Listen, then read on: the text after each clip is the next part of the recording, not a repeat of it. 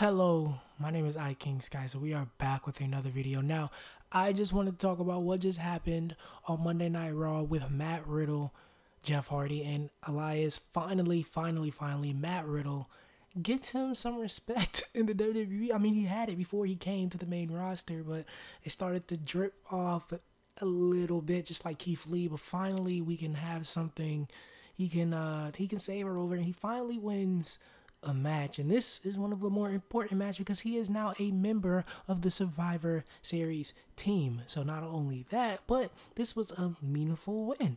So um, I don't know if this is going to start a trend with pushing Matt Riddle and giving him and actually giving him a chance to be a star in the WWE, but I hope that's exactly what it is. So, um, that was a pretty good match also so i like that. And uh, matt riddle finally wins the match. I'm glad that it was matt riddle and not elias and jeff hardy because they're obviously going to continue their feud.